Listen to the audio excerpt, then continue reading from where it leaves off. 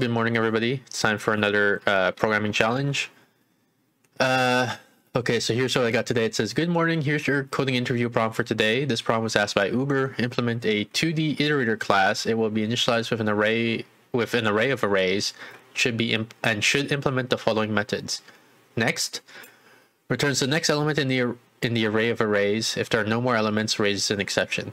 Has next returns whether or not the iterator still has elements left.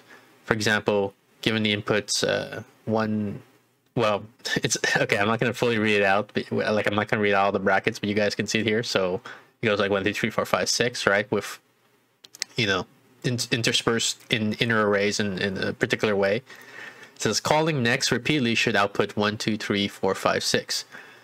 Do not use flatten or otherwise clone the arrays. Some of the arrays can be empty. Okay, so this is a pretty straightforward um, problem, I think, and and it's something that some you do have to uh, deal with in real life sometimes. Like I, I think I've I've had situations where um, I had some sort of data structure, not necessarily an array of arrays, but like some data structure um, where I wanted to iterate over the content of that data structure, but um, but it did not implement the iterable uh, interface, and and so you just you you create like a wrapper object, right, that knows how to um, iterate over over that. So uh, it, it sounds like we should not. Um, it doesn't say that we should not mutate the array. It just says don't flatten or clone the arrays, but I probably don't want to mutate them. So I probably want to have like um, what's it called? Like, like I, I want to not touch the arrays basically. So like I have to track indices or something like that. Okay, so let's uh, should we do some pseudocode about it? Like I feel like it's kind of straightforward, right? Like basically you want two indices, right? You want the the outer index and the inner index is what I'm I'm thinking. The outer index says um, like this is oops. This is index zero. This is index one, and, and so on. And the idea is uh, you keep incrementing the inner index. So this is inner index. When outer index is zero, meaning we're looking at this subarray, and inner index is zero, it means we're looking at this element. When you say uh, has next, I, I say, yeah, there is a next element. And then we call next, I return one and then increment the inner array. Um, the, the tricky thing may be the empty array, but we'll get to that in a moment. So then when I say, okay, give me the next one here, I'm going to increment I'm going to return two, and then I'm going to try to in increment the inner index, but then I'm going to notice that that's past the end of the array. So then I set inner index back to zero, and then I increment the outer index, um, which gives me this object. You say next, I return three, and then try to increment the inner index, but I see that's past the array. So then I set outer, uh, I set inner index is zero. I increment outer index. I notice that this is still outside uh, the the array. So I set inner index to zero again, I guess. I, maybe that's not necessary. I don't know. Depends on the structure of our algorithm. What's simpler, like whether to set the inner index to zero again or, or, or skip that part. Then increment outer index and we end up here. Okay, so let's say I get to here, I return six. I try to increment the inner index. Um, see that's past the end of the array. So I set inner index to zero, I increment outer index, and that's past the end of the outer array. Um, and then maybe like we might need a boolean flag, but we might not need the boolean flag, right? Where we, where we say like at end is we set that to true. Like it was false before up into here, and then we say true. And then if you call next, I raise an exception. If you do has next, I say uh, false, basically. So okay, so I think pseudocode is pretty straightforward. So let's let's figure out what language we're going to implement this in.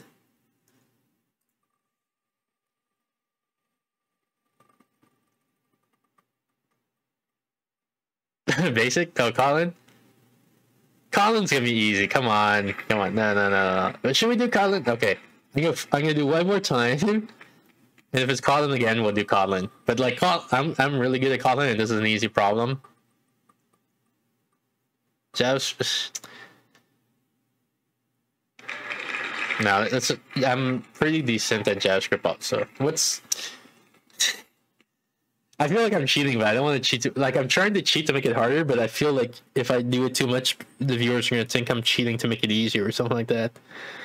I you what, since this is easy problem, let's implement in both Kotlin and JavaScript. How about that? That sounds like a good compromise, right?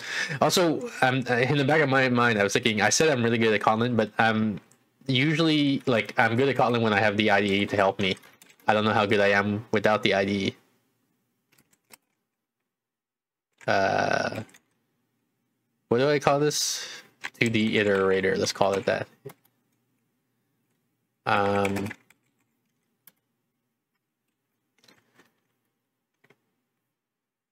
okay, so actually, let's do it in Sublime Text. I don't know. I don't want to do it in um, in Vim. And by the way, last episode, I, I mentioned how um, there was a license. Like I didn't have a license because I didn't renew the license. I, I previously purchased Sublime Text, but then my license expired. But you see here, it says remove license now, and that's because I have purchased a new license. All right, so it was a 2D array. Okay, so um, 2D iter. I, yeah, so I mentioned I, I usually write Kotlin in uh, in an IDE, so I'm going to do it in Sublime Text now. It's going to make it a little bit more difficult, but hopefully it's fine. It's going to be like an array of, of what? Of anything? Should be of anything, right? It doesn't really matter. So how do I do generics in, in Kotlin again? Is it like this?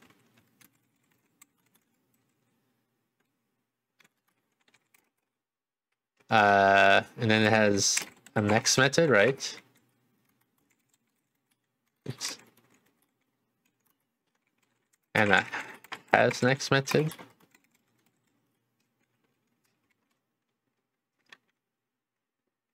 Let's check if this compiles. Uh, how do I compile Kotlin, actually?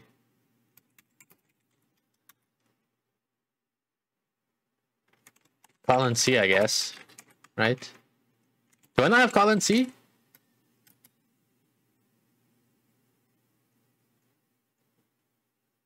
Hmm. Okay, we might let me let me just Google real quick. I thought it was Kotlin C to compile. Compile Kotlin at command line.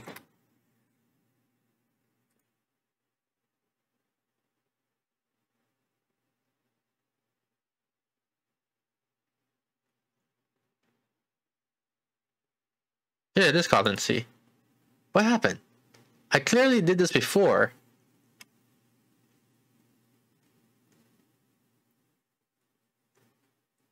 Because I have the, uh...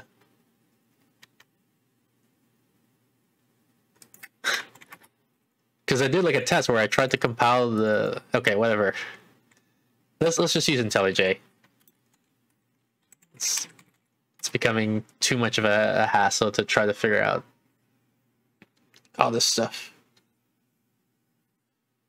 I don't remember what my last project was that I had in here. Hopefully it's nothing. Oh yeah, this is um, a machine learning thing to help me figure out what type of video game Steph likes to play. Actually, let's just use this project. Um, I don't want to create a whole new IntelliJ project, so I'm just gonna just gonna create like a, a file in here and we'll, we'll use that file to the iter.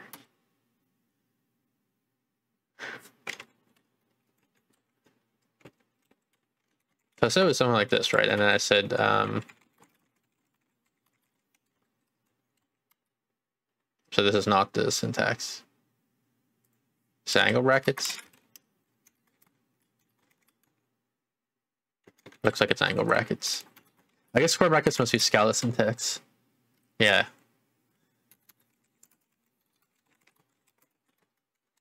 Print line, hello world. Hang on, let me adjust my mic for a bit.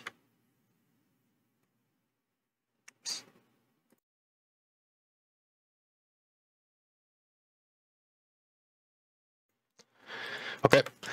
Um, just double check that we can compile and run all of this.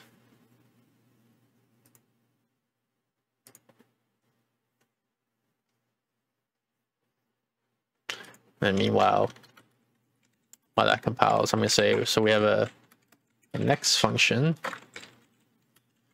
and then a uh, has next function.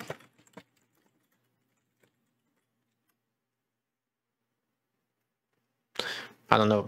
Maybe I should have done this one because I guess I have like some like machine learning library type stuff going on in there.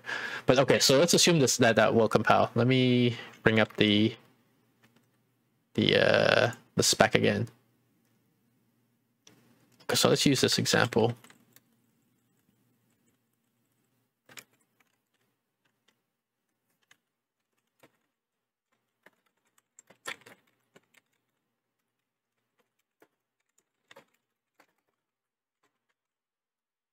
How do we create? Is there an array literal in uh, in Kotlin? Actually, maybe it's just this. Maybe I can just.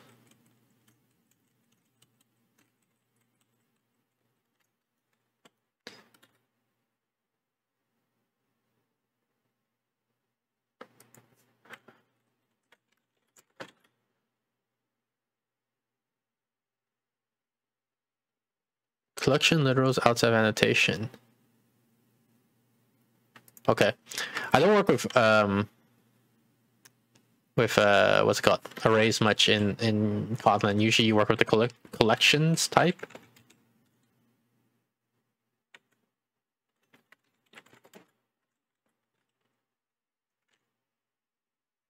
That's the size of the array.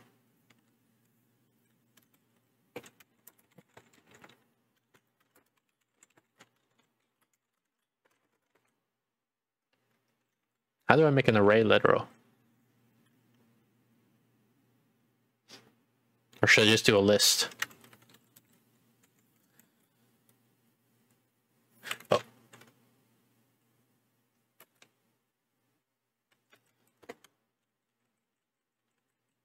Is there an array of? Oh, there is. Okay, so that's why how you do it.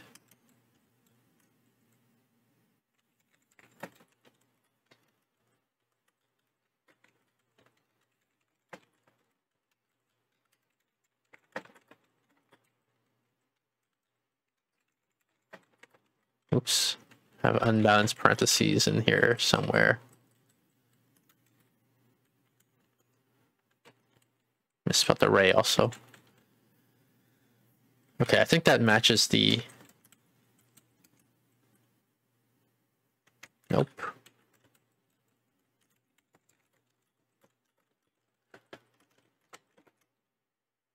Okay, that's good. And then I pass in this here.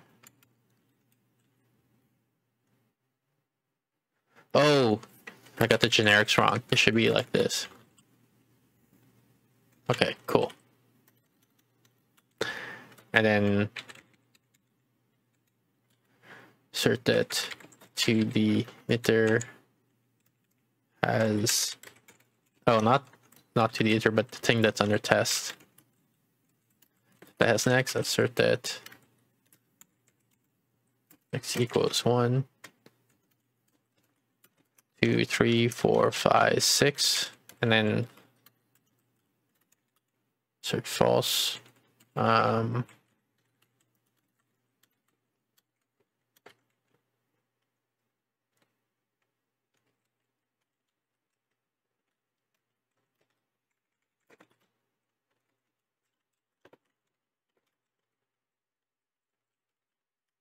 not search, but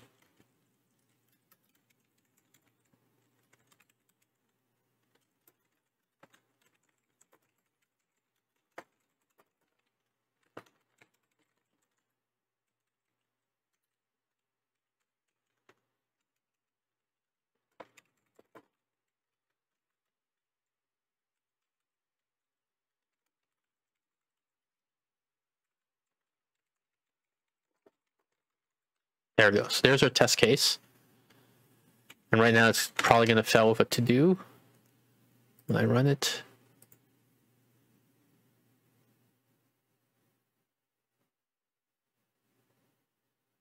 Is it really going to take this long? No, there we go. Perfect. Okay, so as we mentioned, we're going to have two um, indices.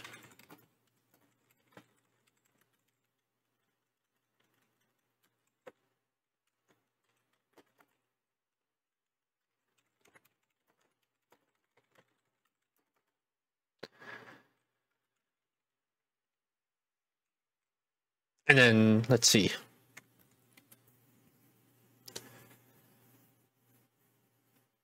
You know what? I'm gonna I'm gonna want a, a second test case. Let me think about how to implement that.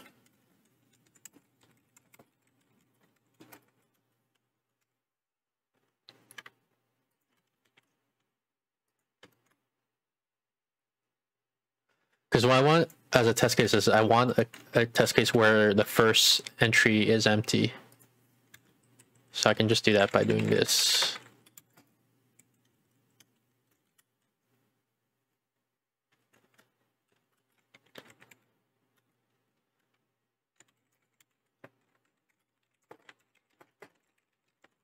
Yeah, I can put that in here probably. That's probably easier.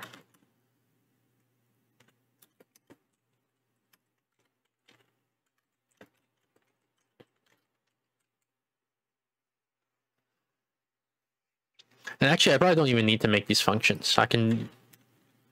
I, I wish there was something like um, immediately invocable function expressions in Kotlin. The closest that I can think of is doing something like this, running a let on unit, or you know anything like a unit dot run, unit dot let, unit dot whatever. But okay, so would I okay, so I want to say has next is going to return false if um oh, this needs to be a val.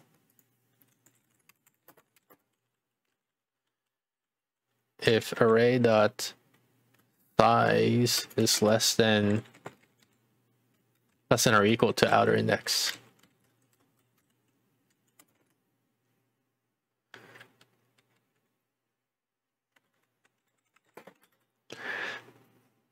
Um,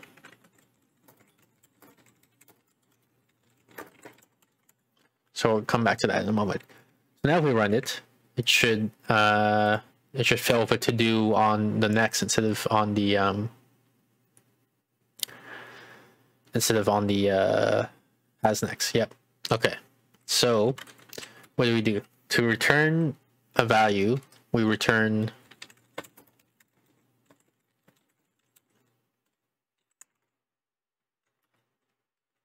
This is just a return value.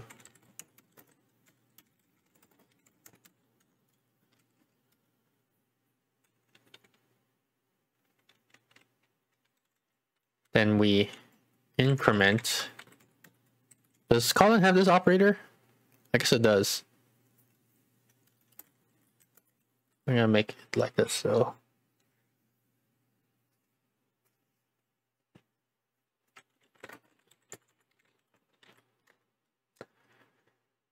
If inner index is no, okay, so if the array the inner array dot size is smaller or equal to inner index, then we're gonna reset exit to zero, and then we're gonna do outer index, increment outer index. Um, And then now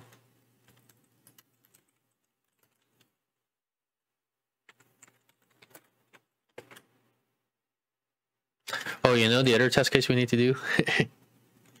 this is getting fun. The other test case we need to do is if we have a bunch of the arrays here let me put a couple in here also.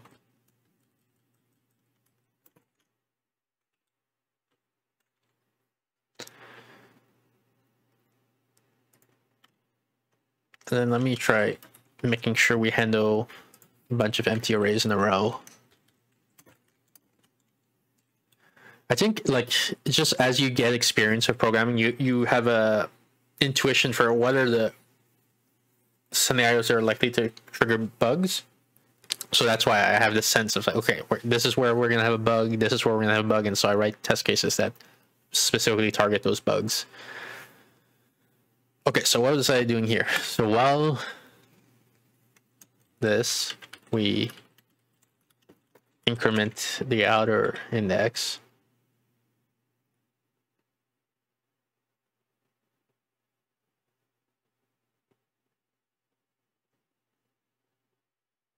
And let me move this to a helper function now.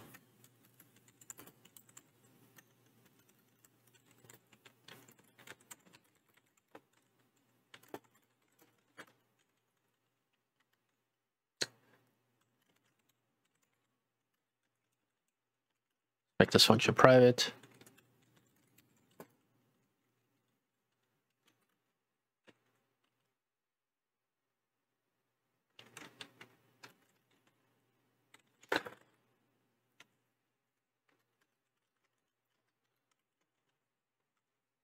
I was gonna say I need to do a check, like I need to do an if here. I was gonna do if the outer index is past the end or something like that. We throw an exception, but we don't necessarily throw an exception. We only like because once when do find next element, we might increment past the end of the array, and we don't throw an exception at that point because the user might still call has next, which should succeed. It's only here if they call next and we're past the end of the array, we should throw exception. But like because of Kotlin, this will throw an exception automatically, right? If you index the array, so we we don't ever have to explicitly code the check here. However, we do need to code the check here. um, or do we? Let me think. If this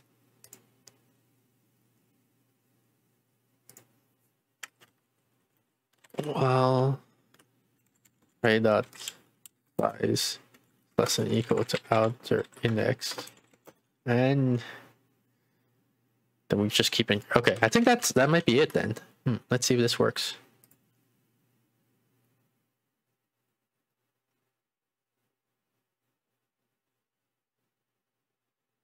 Index out of bounds zero for this. Are we in the first array still? Okay, we're trying to get four. Okay, so we did not handle the empty array. That's weird. I thought this would handle the empty array.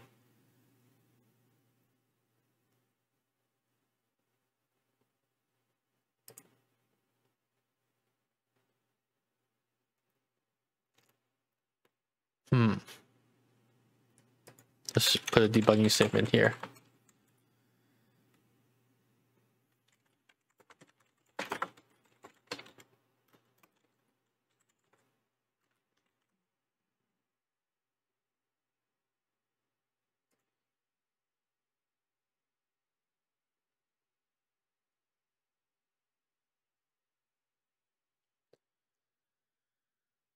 So we're at zero zero. Then we say move to zero one, right? Then one zero, and two. Why did we break out of this array? I'll this okay. This has size zero. Inner index should have been zero. Outer index is two. Shouldn't it have kept looping? Why did it exit the loop here? I'm, I'm confused. So the array dot size is like one, two, three, four. So this is four less than. Oh, I have to do it the other way, I guess. No, no, this is right. No, it's not right. It's not right. I do have to do it the other way. So inner two, four, and then two size is going to be zero, zero. Yeah, okay. I think I got now.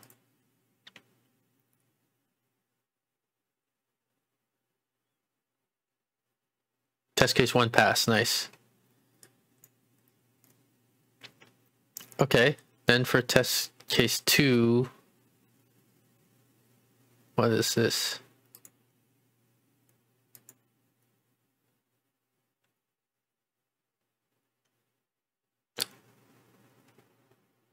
Oh, did I put the word test case one over and over again?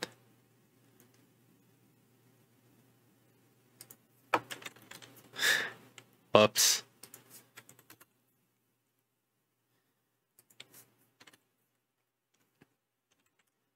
So I guess test case one and two pass.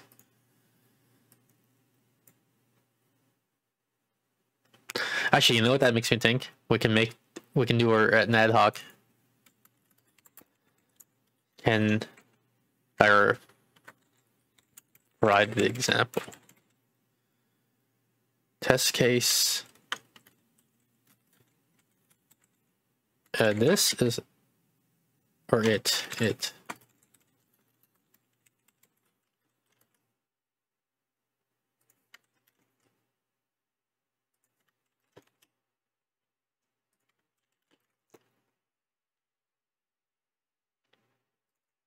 This is what? This is um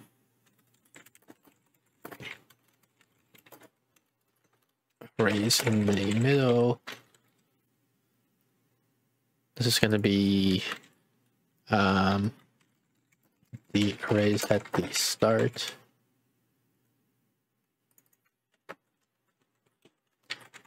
The arrays at the end. And what I could have done also is I can wrap the whole thing in a try.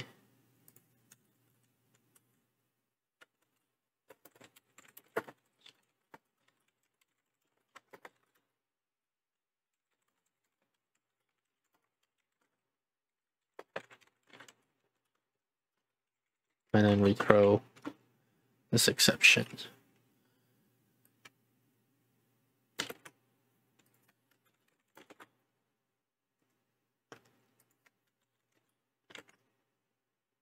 Guess I don't need to close here.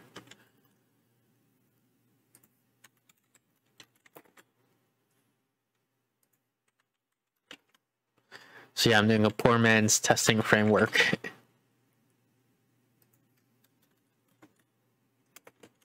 oh, I forgot that I don't need to close here. So now, run it again.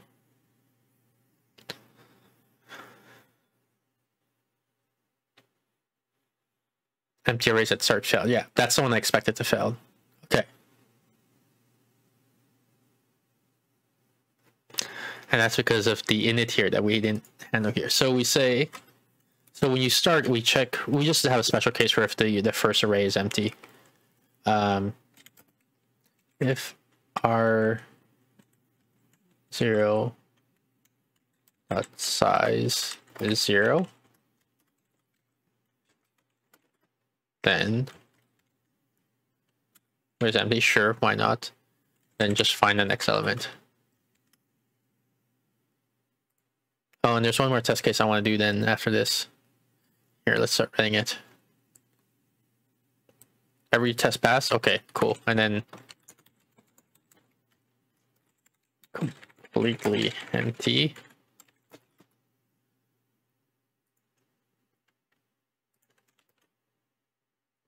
You know what I'm gonna do? I'm gonna make this even more fancy, just because I feel like we're finishing on pretty quick time. How much? Yeah, we're about half an hour in.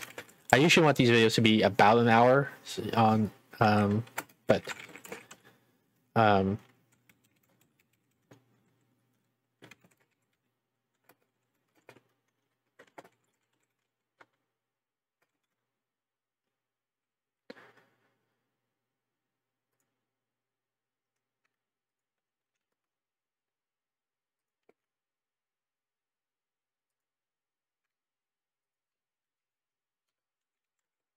I'm writing my little micro test framework.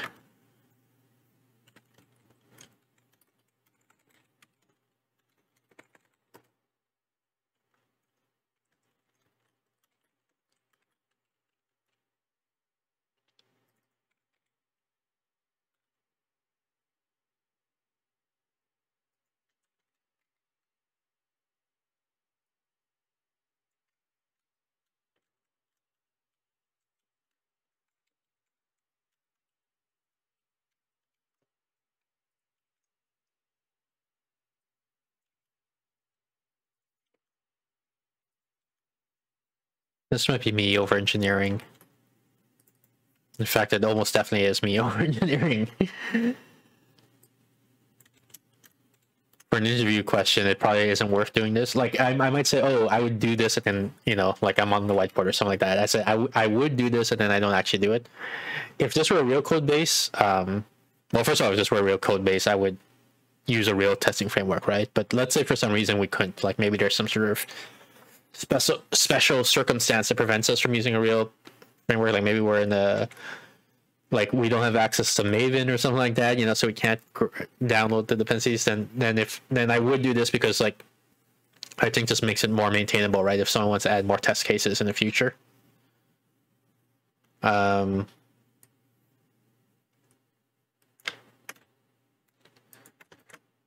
so what I want here is if you do this, then right off the bat you say has next empty, and if you try to do next, it should have thrown an exception. Then we have a different test case, which is nested empty. And that's if we have something like this. So both of these should just say, yeah, it's empty, and then throw an exception if you call next. Okay, so let's run this. Let's see if it works out outside the box. I'm not sure if it will or not. I think it might. No, it doesn't.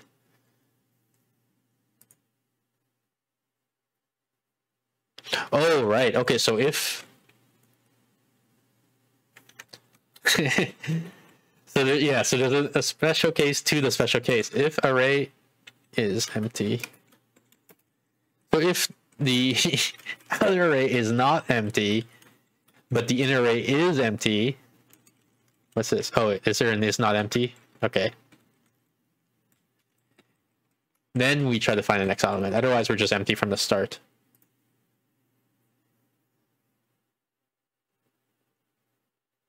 Yeah, that's it.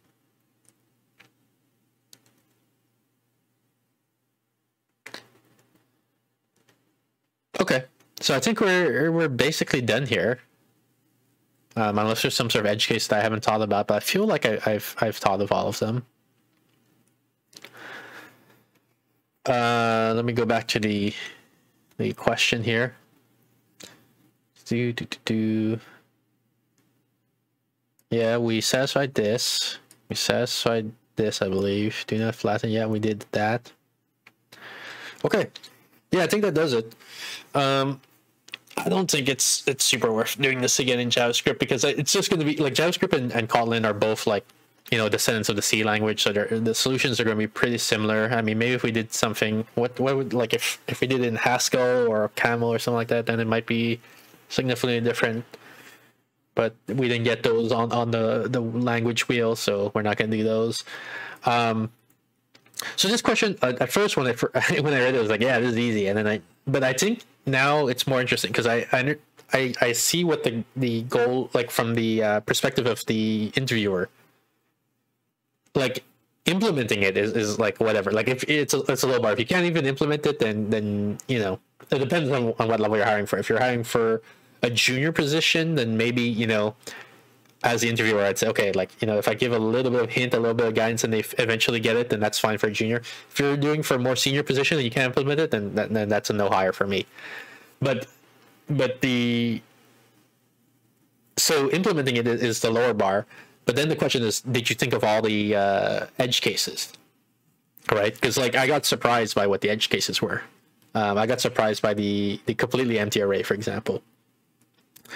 And so if I were an inter- interviewer giving this question, I would like, you know, ahead of time come up with all the edge cases and then check does the candidate um, think of the edge cases and do they handle them? The thing is, like, usually when when you're doing a interview, well, I don't know if I want to say usually, but it's it's not unusual when you're doing uh, an interview, uh, a coding interview like this, that you have to write the um, the the, the code on a whiteboard instead of in an IDE. So you don't actually get to run your unit tests. Like you can, as a candidate, you can describe like here's the unit tests I would do to, to the interviewer, but you don't get to actually run them because you don't have access to an IDE. You just you're just using a whiteboard. Um, if if the interviewer is using a, an IDE, then I would expect them to you know write the unit test. I would, if if they're using an IDE, the IDE is helping them, and so me as the interviewer, I would help them less, right? I would watch. I would just see like, do they come up with the the right test cases? Like, they even unit test at all? Because I know some candidates they'll just write a solution and say, okay, I think I'm done, and they miss some edge cases and, and it's wrong, and then like you know that's that's you would lose a few points for doing that. Um, and then as you usual, I might hint at them. It's like, okay, did you think of all you know the uh, uh, the how would you test this? You know, and, and questions like that, leading questions to hint to the candidate that they should you know maybe write some unit tests. Um, and then if they write the U tests, like you know, I'm as the interviewer, I'm watching them as okay, did they did they think of all the edge cases? You know, and and and and if they miss one, I might you know ask them questions like, okay, do you think you've covered all the edge cases? You know, and and like you know like gently prod them towards um, the the solution, and and basically as an interviewer, you're trying to gauge how much help did you need to give the candidate to figure out like you know are they are they a senior developer, are they a junior developer, or are they a no hire? Um, that's with the IDE. If it, if it's on the whiteboard, completely different story. So on the whiteboard, they don't get to run unit tests, right? So if so, they they write out the algorithm on the whiteboard, and then I, and then I'm observing. Do they think to to do tests? Um, if they do, that's bonus points. If they don't, then I might again I prod them. It's like, so what what sort of tests? You know, how would you test this? And then so then they might describe either in words or, or drawing on the whiteboard, like you know, here are the unit tests I would do and then again, as the interviewer, I would observe, do these look complete or not, right? And because as the interviewer, I've already prepared this ahead of time, I already know what all the edge cases are and what what the likely bugs are. What when during the earlier part, when the candidate was writing out, you know, the algorithm that they would use, like here's the code I would write, I would while observing them, I would be I would be running my all the test cases that I know of, like in my mind, right? And I would see like, oh, they forgot to handle multiple empty arrays in the middle or, or something like that. Um, so I just keep that in the back of my mind. And then when we get to the part where I say, okay, you know, like, would, uh, you know, what unit test would you write or whatever, and, and they show me the list of unit tests, um, I, I should at that as the as the uh, interviewer, sorry, I should at that point already know which tests are going to fail, right? And so since they don't have access to an IDE, they're only working the whiteboard. I would act as a proxy of the, of the IDE for them. Like they write, they, they say, here are the tests I would do, and and I'm the interviewer, so I already know which tests are going to fail. So I would tell them, okay, so you know you're going to run these, you would write these tests, but I think this test would fail. And then I would sort of leave it like, like that to see how they respond, right? Because what what I'm hoping for, and and if they don't do this, I'll just guide them towards it. What I'm hoping for, when I tell them this test would fail, they would step through they would run that test case in their mind right they would play the act as the compiler or whatever and, and run that test case through a code and see where does it fail um or if it doesn't like if they just just sort of blank out like like because the thing is i i know you, people get nervous right during during interviews so if i just say like oh i think this test would fail and it looks like they're like in this panic mode you know they're like oh god you know i'm gonna i'm gonna fail the interview i'm gonna lose my job or whatever I'll try to calm them down. I'll try to reassure them. It's like, okay, so let's let's walk through. Let's see, you know, like what what happens. Um, let me get one of my test cases as an example. Yeah, let's say they, they have this as they say I would write this unit test, and I say, oh well, I think this test case would fail, and they say, okay, so let's walk through what happens. You know, you're, you're, so would it return one at the first thing when you walk through, and then you do this and you do this, and then uh, hopefully then they're like, oh yeah, you know, this is it will fail because of whatever. And then they'll fix their code and so on. So I imagine that's that's how I think that's the intent. Like whoever designed this interview question, I think that's how they intend the interview to go.